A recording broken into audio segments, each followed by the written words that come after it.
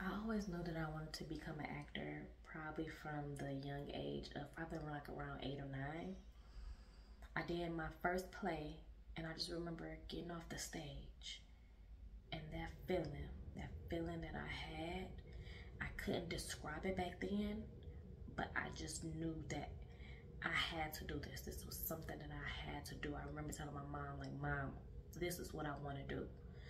Um, then when I got in high school, I was like the shy, the, you know, I was skinny, um, I was short, you know, I didn't really fit in. My self-esteem was low.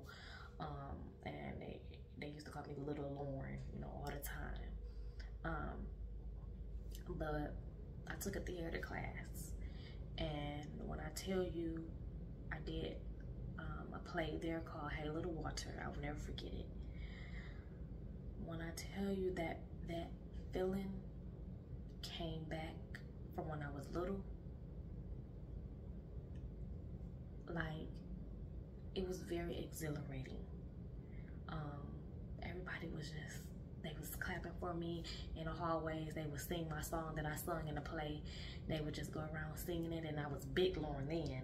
Um, like my self esteem, it rose. Um, like it, it was, it was very therapeutic for me. Very therapeutic. Like if I was in a dark space, like theater took me out of that dark space. It was somewhere I can like like I could I didn't have to be shy. Like I could become another person and you know, don't be judged. Like it was everything that I needed.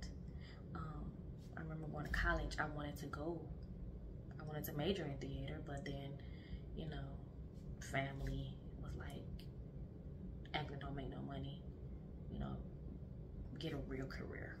So I did that. I went to do the career that I'm in now, but I wish I didn't listen to, to you know. ever get back into it a couple years ago, and it was the best decision I've ever made because I knew that I was missing something. Like I didn't feel, I didn't feel fulfilled.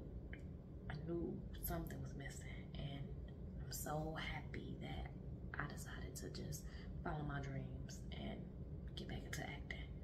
And I, absolutely love it. Like